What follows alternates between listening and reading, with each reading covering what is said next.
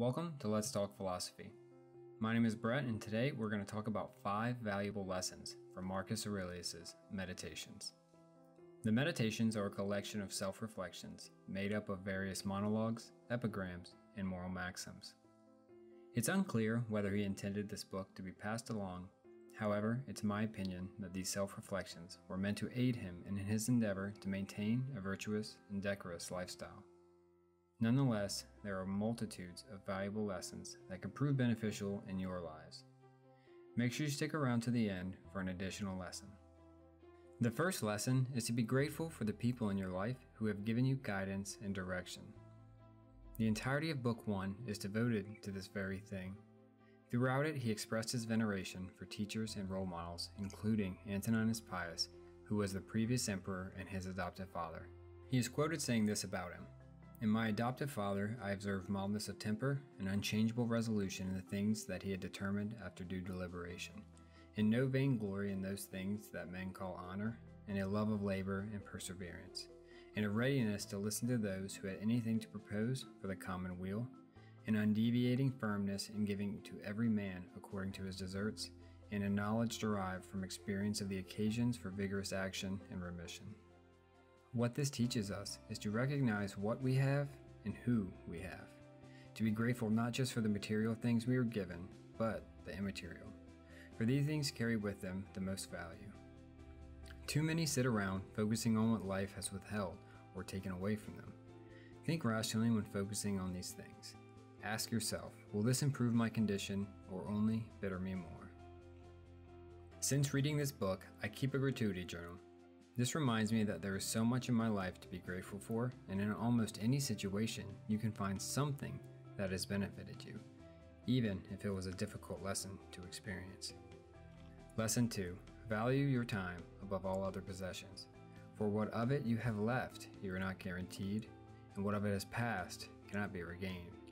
This quote by Marcus Aurelius demonstrates the truly ephemeral nature of time he said we ought to consider not only that our life is daily wasting away, and a smaller part of it is left, but also that if a man should live longer, it is quite uncertain whether the understanding will still continue sufficient for the comprehension of things, and retain the power of contemplation that strives to acquire the knowledge of the divine and the human. What I believe he means to convey is this that most people assume they have plenty of time, but very few assume their time may already be on its downward slope. If there is something that you want to achieve, make haste, for there is no time like the present. Marcus said, The present is the only thing of which a man can be deprived, if it is true that this is the only thing which he has. On one of my previous videos, I went over the importance of appreciating what you already have over that which you want. Apply this to your time as well, because the present is all we truly have. Seneca was correct when he said a major portion of death has already passed. How much worth do you put on each day? Lesson 3 Focus on self awareness, not on your awareness of others. It's no secret that many people spend their lives trying to impress those around them, whether this be with ostentatious displays of wealth and power, or deeds done for the sole purpose of gaining recognition and fame. These same people spend countless hours in envy of other people's possessions, not accounting for what they already have. Marcus Aurelius believed that if you focus on external things, you will be deprived of inner peace. Consider this quote on the irrelevance of fame. The desire of the thing called fame torments you. See how soon everything is forgotten, and look at the chaos of infinite time on each side of the present, and the emptiness of applause, and the fickleness and lack of judgment in those who pretend to give praise, and the narrowness of its domain and be quiet at last. For the whole earth is a point, and how small a nook in it is your dwelling. And how few are there in it, and what kind of people are they who will praise thee? On the opposite side of this quixotic image of eternal fame is tranquility, and the path to it is through contentment with your portion and a simple life. I think it's safe to say that throughout our lives we should continually reflect on what we are doing and to what end. And if we deem that what we are doing is unjust and against virtue, then we should make haste to correct it. Lesson 4 When someone has wronged you, seek understanding, not vengeance. Personally, this one is perhaps the most difficult and will, for me, take continuous reflection to become proficient. This quote personifies Marcus Aurelius' view on this subject. He said, It is peculiar to a man to love even those who do wrong. And this happens if when they do wrong it occurs to you that they are fellow humans, and that they do wrong through ignorance and unintentionally, and that soon both of you will die, and above all, that the wrongdoer has done you no harm, for he has not made your ruling faculty worse than it was before. Now, by ruling faculty, he means your ability to choose.